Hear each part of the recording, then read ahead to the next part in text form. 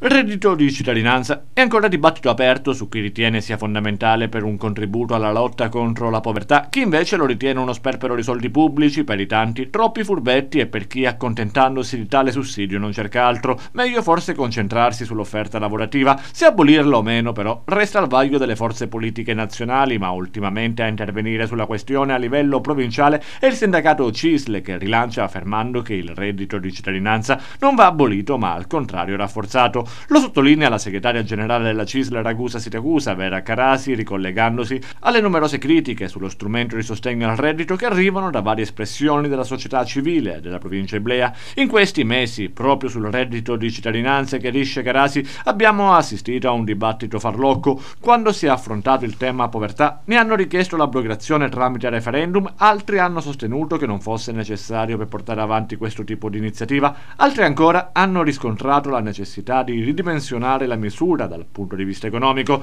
Come Cisle, invece, crediamo che il reddito di cittadinanza vada salvaguardato e anche potenziato. Ricollegandosi alle posizioni già espresse dal sindacato a livello nazionale, la segretaria Carasi afferma che deve essere ampliata la scala di equivalenza appiattita su quei soggetti che hanno famiglie numerose. Bisogna allentare il vincolo di residenza per gli stranieri che contribuiscono in maniera considerevole allo sviluppo economico di tutto il paese. Non esiste a livello europeo una condizione così punitiva, il reddito di cittadinanza è in primis, continua la Carasi, un sostegno alla povertà, ma in seconda battuta è anche una possibilità di inclusione nel mondo del lavoro. Il suo ruolo centrale lo vediamo attraverso i centri per l'impiego. Vogliamo, continua ancora la CISL, che quando i percettori sono chiamati abbiano contratti collettivi regolarmente applicati. Vogliamo che sia chiara e bene definita l'offerta di lavoro in fatto di tempo e di distanza, aspetto che deve tenere conto ad esempio delle donne con figli che devono muoversi.